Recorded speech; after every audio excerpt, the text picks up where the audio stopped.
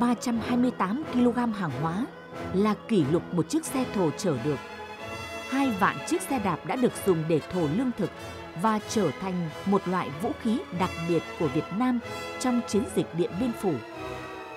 Sẽ không một người Pháp nào khi đó có thể ngờ tới một chiếc xe đạp do chính họ sản xuất khi được gia cố lại vành, xăm, lốp, nan hoa tới tay cầm đã trở thành loại phương tiện có sức chở ghê gớm đến vậy. Yêu cầu của tiền tuyến là phải tăng năng suất vận chuyển lương thực. Anh em dần dần từ một bao đưa lên tới 100 cân, 100 cân dần dần lên tới 150 cân, vỡ lốp, rồi là nan hoa bị gãy. Thế thì anh em là có cái sáng tạo, thế là bây giờ xé cả cái chân chiên, rồi xé cả áo lót, quần lót, lấy cái đấy để quấn vào cái xăm. Thế còn lốp thì anh em là dùng hai cái, cấy ở trong á, thì cắt hết tanh. Thế bơm căng lên thì để chở được nặng hơn. Đèo cao, để dốc thì đứng, mà núi đá thì hiểm trở.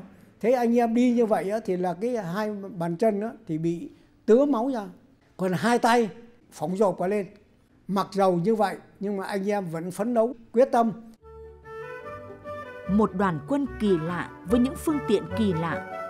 Họ đã mang vác vận chuyển tất cả mọi thứ cần thiết cho một đội quân 50.000 người từ cự ly 5-600 km trong điều kiện rừng núi hiểm trở của vùng nhiệt đới đối phương đã chiến thắng tại Điện Biên Phủ vì họ có một lực lượng hậu cần kỳ lạ. Người Việt Nam đã tiến hành một chiến dịch hậu cần tuyệt hảo mà chúng ta cho là hoàn toàn không thể. Đó là những lời nhận xét của các chuyên gia quân sự hàng đầu thế giới và cả tướng lĩnh của đội quân viễn chinh Pháp sau rất nhiều năm nhìn lại cuộc chiến Điện Biên Phủ. Tất nhiên, đó sẽ là điều kỳ lạ đối với những ai cố tình không hiểu hoặc không thể nào hiểu được sức mạnh từ sâu thẳm trái tim sức mạnh đoàn kết của cả một dân tộc